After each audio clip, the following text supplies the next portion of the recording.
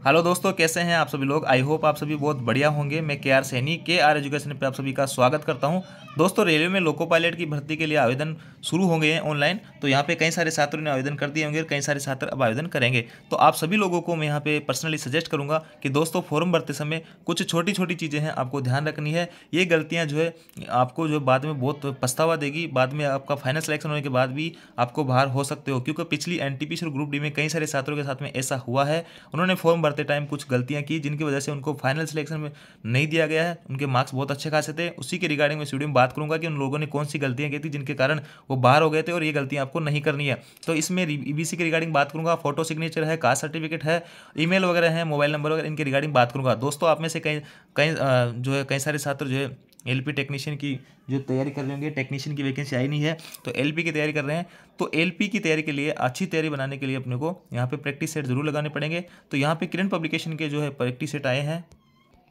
Screen पे आप एक करेंट पब्लिकेशन की बुक देख पा रहे होंगे। इसमें फ़र्स्ट और सेकंड सीबीटी के जो है प्रीवियस ईयर के क्वेश्चन पेपर है और कोई भी एग्ज़ाम की तैयारी कर रहे हो आप रेलवे की नहीं, किसी भी एग्ज़ाम की तैयारी कर रहे हो, आपको जो है प्रीवियस ईयर का जो है एग्ज़ाम जो प्रीवियस ईयर क्वेश्चन पेपर है, उनको निकालना चाहिए, उनको पढ़ना चाहिए, उनको समझना चाहिए, क्योंकि आपका जो एग्ज़ाम होगा, वो उसी के पैटर्न के आधार पर होगा। वैसे ही क्वेश्चन आएँगे तो आपको अपना पैटर्न अपनी तैयारी रखने के लिए प्रैक्टिस सेट ज़रूर लगानी चाहिए प्रीवियस ईयर के क्वेश्चन पेपर ज़रूर निकालने चाहिए। तो इसमें जो है टोटल फिफ्टी सेट है, आप इस बुक को कंसिडर कर सकते हैं और इसमें जो है आपको ये बुक ऑनलाइन ऑफलाइन किसी भी नज़दीकी स्टोर से आपको ये मिल जाएगी। ऑनलाइन अगर आपको खरीदना है तो इसका लिंक आपको डिस्क्रिप्शन मिल जाएगा।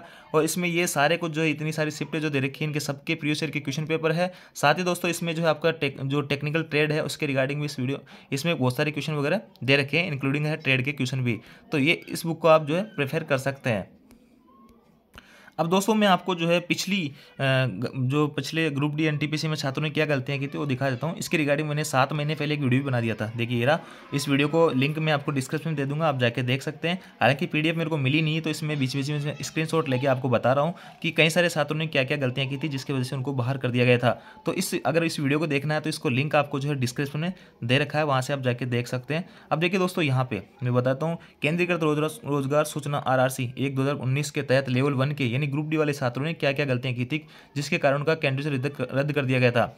देखिए, यहाँ पे पहला जो कैंडिडेट है रोल नंबर है नेम है फादर नेम है। इसने जो है rejected due to signature mismatch इसने जो है सिग्नेचर में गड़बड़ की थी सिग्नेचर मिसमैच हुए थे, इसलिए इसको रिजेक्ट कर दिया गया था फाइनल सिलेक्शन होने के बाद में। कैपिटल सिग्नेचर यानी इसने जो है यहाँ पे अपने जो सिग्नेचर है, वो कैपिटल लेटर में कर दिए थे। आपको सिग्नेचर कैपिटल लेटर में नहीं करना है। सपोज़ डेट आपका नाम राजेश है तो आपको मतलब जो है रनिंग में करना है। राजेश ऐसे लिखना है आपको, ऐसे कैपिटल में R A J E S करके नहीं लिखना है, नहीं तो आपको जो दिक्कत हो जाएगी।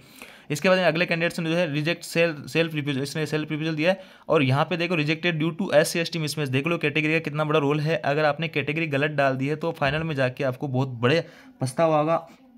मान लो कि आप एस सी एस टी से आते हो और फॉर्म में आपने गलती से जल्दबाजी में यूआर डाल दिया, या फिर जो है आपने एस सी की जगह एस टी डाल दिया एस टी की जगह एस सी डाल दिया तो एस सी की जगह आपने एस टी डाल दिया।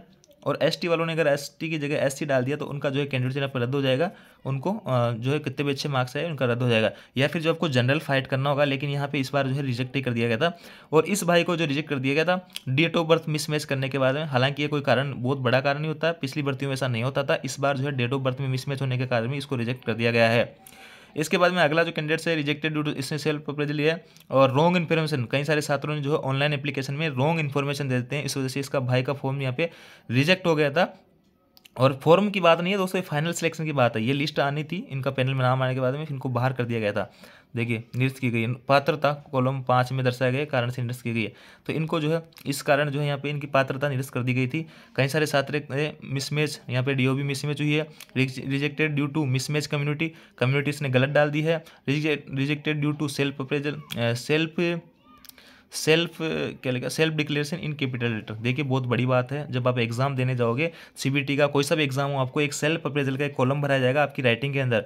अगर वो जो है आपको जुड़ों अक्षरों में लिखनी है, रनिंग में, रनिंग के अक्षरों में लिखनी है कैपिटल लेटर में आपको नहीं लिखनी है। इस भाई ने कैपिटल लेटर में लिख दिया था सेल्फ अप्रेजल इसलिए इसको यहाँ पे पात्रता इसकी रद्द कर दी गई है। बहुत बड़ी बात है, ध्यान रखना सभी दोस्त एग्ज़ाम दो तो जब आपका जो सेल्फ अप्रेजल आपने पहले एग्ज़ाम दिए भी होंगे, वहाँ पर आपको कोलेटर में कॉलम होता है, वहाँ पर आपके कुछ लिखवाया जाता है तो वो आपको जो है रनिंग में लिखना है कैपिटल लेटर में नहीं लिखना है। Rejected due to writing and signature mismatch यहाँ पे रिजेक्टेड राइटिंग मिसमैच हो गया सेल्फ अप्रेजल कैपिटल लेटर तो ये चीज़ें आपको ध्यान रखनी है। इस पिछहत्तर टोटल ऐसे पिछहत्तर कैंडिडेट्स हैं। इनकी लिस्ट में आपको यहाँ पे इस वीडियो में दिखाया हूँ, ये मेरे को मिला नहीं था पीडीएफ तो। तो यहाँ से आप देख पा रहे होंगे कैसे जो है बड़ी बड़ी मिस्टेक बाद में हो सकती है। तो दोस्तों, ये सारी चीज़ें जो है अभी मैंने बताई है आपको, ये आपका उसमें इंस्ट्रक्शन भी दे रखे हैं। आपका जो नोटिफिकेशन है वाइड नोटिफिकेशन सारे कुछ इंस्ट्रक्शन भी है। चलो मैं आपको नोटिफिकेशन दिखा देता हूँ वन बाय वन करके। दोस्तों, स्क्रीन पे आप एलपी का जो है वाइड नोटिफिकेशन देख पा रहे होंगे। इसमें कुछ इंस्ट्रक्शन है उनको उनको ध्यान से पढ़ना चाहिए। देखिए, यहाँ पे आपका जो है सेकंड पॉइंट जो है लिखा है, ये यहाँ से क्लियर हो जाता है। कई सारे दोस्तों के मन में ये सवाल है कि सर, हमने जो है सेकेंड ईयर में हमने एग्ज़ाम दे दिया है, हमारा रिज़ल्ट आना बाकी है, या हमारा एग्ज़ाम अगले महीने है तो हम इसमें एलपी में फॉर्म भर सकते हैं। क्या तो उस चीज़ को यहाँ पर क्लियर किया गया है। इसमें लिखा गया है कि आपका अगर candidate waiting for final result और prescribe education technical qualification not eligible to apply आपने दोस्तों एग्ज़ाम ही नहीं, यहाँ पे अगर आपने एग्ज़ाम दे दिया है और उसका रिज़ल्ट भी नहीं आए फाइनल डेट तक, जब तक ये फॉर्म अप्लाई हो रहे हैं, उन्नीस फरवरी तक अगर आपका फाइनल रिज़ल्ट नहीं आता है तो आप इसमें आवेदन नहीं कर सकते, आप इसके लिए एलिजिबल नहीं होगे साफ़ साफ़ लिखा हुआ है। इसमें आवेदन करने के लिए आप एकदम आपका रिज़ल्ट आया हुआ रहना चाहिए, जो भी टेक्निकल क्वालिफिकेशन मांगी गई है, उसके रिज़ल्ट वगैरह सारा कुछ ओके होना चाहिए।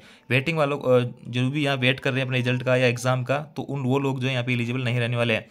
आगे लिखा है application must be submit online only online आपको एप्लीकेशन करना है और आपको एक ही ऑप्शन मिलेगा। Only one R R B only one application पर कैंडिडेट यानी एक कैंडिडेट जो है, एक ही आर आर बी से फॉर्म भर सकता है। ऐसा नहीं है कि कोई कोलकाता से भर देगा, कोई भोपाल से भर देगा और अजमेर से तीनों जगह से एक ही बंदा फॉर्म भर सकता है नहीं भर सकता। अगर आपने ऐसा किया तो आपको डिसक्वालीफाइड एंड कर दिया गया और कर दिया जाएगा और आपको भर्ती से बाहर कर दिया जाएगा। तो इस चीज़ का ध्यान रखिएगा। इसमें एलिजिबिलिटी है। जो भी एलिजिबिलिटी आपका डिप्लोमा बी या आईटीआई वगैरह है, जो भी संबंधित ट्रेड्स हैं, वो है। और एस सी आपको ओबीसी कम्युनिटी का जो है, आपको विशेष तौर से ध्यान रखना है। दोस्तों, विशेष तौर से ध्यान रखना है। मैं कह रहा हूँ, फिर से आपको बार बार अगर एससी में तो एससी ही डालना एसटी मत डाल देना। ओबीसी में हो तो ओबीसी डालना ई e हो तो ई e डालना। आपको यहाँ पे कोई गलती की गुंजाइश नहीं है। बाद में बहुत बड़ी प्रॉब्लम क्रिएट हो जाएगी। अगर आपने एसटी डाल दिया और आप जनरल से हो तो आपको जो है एसटी का सर्टिफिकेट कैसे बनवाओगे? बहुत बड़ी मुश्किल हो जाएगी। आप इसको सीरियस लेना एकदम, क्योंकि पहली जो सीढ़ी होती है सिलेक्शन लेने की, वो फॉरम ही होता है। फॉर्म एप्लीकेशन जो ओपन भरते हैं, वो ही आपकी सिलेक्शन की पहली सीढ़ी होती है। लास्ट में जाके कई सारे छात्रों को रोना पड़ता है, बर्बाद हो जाते हैं, बहुत अच्छे मार्क्स होते हैं, लेकिन फॉर्म को जो ढंग से नहीं देखते हैं। फॉर्म में अगर आपसे गलती हो भी जाती है तो यहाँ पर सुधारने का मौका रहेगा, उन्नीस फरवरी तक। आप जो है तीन चीज़ों में सुधार नहीं कर सकते, वो भी यहाँ पर साफ़ साफ़ दिया गया है। तीन चीज़ में जो है आपको अब एक तो ईमेल आईडी में और एक मोबाइल नंबर में और एक आप जिस जोन को सेलेक्ट किए हो, उस जोन को यहाँ पे चेंज नहीं कर सकते। बाकी आपके नाम में मिस्टेक है फादर नेम मिस्टेक है कैपिटल लेटर वगैरह कुछ भी है मिस्टेक तो आप उन चीज़ों को यहाँ पे ध्यान रख सकते हो। उसमें करेक्शन कर सकते हो। मेडिकल फिटनेस में यहाँ पे एवन मेडिकल स्टैंडर्ड मांगा जाएगा। लेजर वाले यहाँ पे एलिजिबल नहीं होंगे। जो भी लेजर सर्जरी कराए हुए हैं, वो भाई एलपी का फॉर्म यहाँ पे नहीं भरे। सिक्स बाई सिक्स इसमें विजन है। बहुत डिफ़िकल्ट इसका जो है मेडिकल होता है। और सबसे जो इसकी ग्रुप डी और ग्रुप सी में बात करूँ तो सबसे हाई लेवल का मेडिकल स्टैंडर्ड इसी का होता है। तीन चीज़ें मैंने आपको बताई थी कि आपको जो है ईमेल आईडी और मोबाइल नंबर और आपका जो है, आरआरबी इसको चेंज नहीं कर सकते हैं। बाकी जो है आप करेक्शन कर सकते हो, उसके लिए ढाई सौ रुपये आपको पे करना पड़ेगा। वो भी सारी कुछ चीज़ें यहाँ पे मेंशन है। ये ढाई सौ रुपये आपको यहाँ पे भरना पड़ेगा जो कि नॉन रिफंडेबल होंगे। इसके आगे अगर बात करें, सारा कुछ नेगेटिव मार्किंग वगैरह दे रखा है तो जनरल इंस्ट्रक्शन में भी ऊपर देखेंगे यहाँ पे। दोस्तों, यहाँ लिखा हुआ है कि आप एक ही जोन से अप्लाई करें फॉर्म को। अगर अदर दो तीन जोन से अगर आप अप्लाई करते हो तो आपको कैंडिडेट यहाँ पे रद्द कर दिया जाएगा। इसके आगे दोस्तों, यहाँ पे देखिए जो मैं सिग्नेचर की बात कर रहा था तो देखिए signature of candidates all the document should be uniform and identical signature must be in running hand writing note in block और कैपिटल और डिस लेटर देखिए, ये बहुत बड़ी बात है। इसका विशेष तौर से ध्यान रखिए, इसी बेस पे कई सारे छात्र जो पिछली ग्रुप डी की भर्ती में बाहर हो गए थे, फाइनल सिलेक्शन होने के बाद भी। तो इस चीज़ को आप ध्यान रखिए, सिग्नेचर वगैरह आप सही तरीके से कीजिए और एफ़ को एग्जामिनेशन प्रोसेस का आपको ध्यान ही है।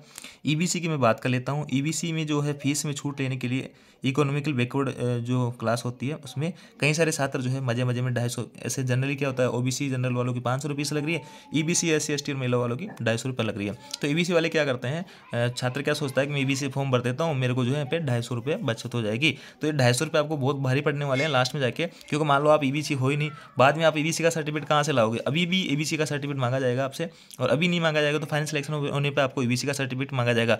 तब बहुत बड़ी प्रॉब्लम आएगी। पिछले एनटीपीसी और ग्रुप डी में कई सारे छात्रों के साथ ऐसा हुआ है, उनके ईबीसी के सर्टिफिकेट बन ही नहीं पा रहे थे, बहुत परेशान हो गए थे छात्र। तो ईबीसी वाला जो है लपड़ा छोड़े, आप यहाँ पाँच सौ देके अपनी जो भी कैटेगरी है उससे फॉर्म आवेदन कीजिए। ईबीसी में इतना है बस कि आप जो है यहाँ पे इतना वो फॉर्म जो है अप्लाई कर सकते हो। फॉर्म को जो है ढाई सौ रुपये बचा सकते हो, इससे ज़्यादा और कुछ यहाँ पे नहीं होने वाला है।